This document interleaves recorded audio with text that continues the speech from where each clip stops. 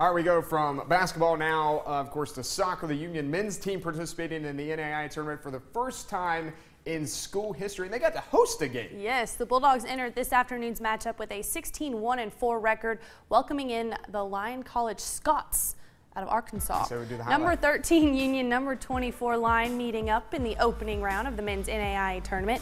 Story of the first half for Union, missed opportunities. Here's one of seven corner kicks they had in the opening half. Lyon's keeper snags it easily. Still first half.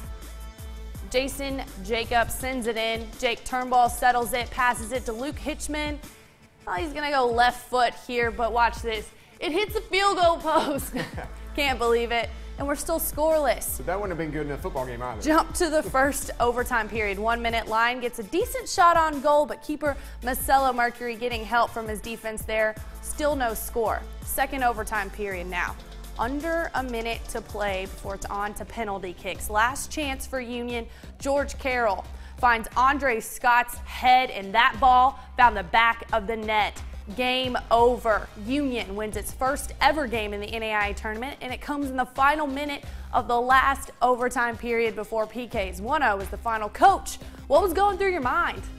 Uh, I'll be honest with you, we were literally um, writing down our shooters, our shootout lineup.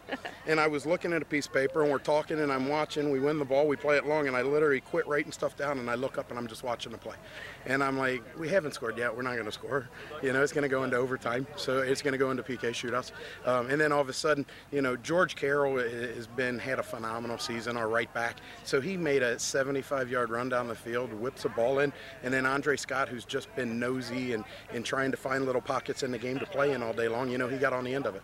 Well, before before before before the second half, I told like my teammate to put the ball right in that position and I'll be there. So he just delivered and I just scored. You know. It looks like we have Rio next. Um, we're the only team that that that gave them a blemish on their record. They're like 20 and one, and we're the one. So you know they're they're going to be trying to get revenge in the national tournament in and around the 16. They're the number one seed, rightly so. They're a phenomenal team, great coach. Um, um, yeah!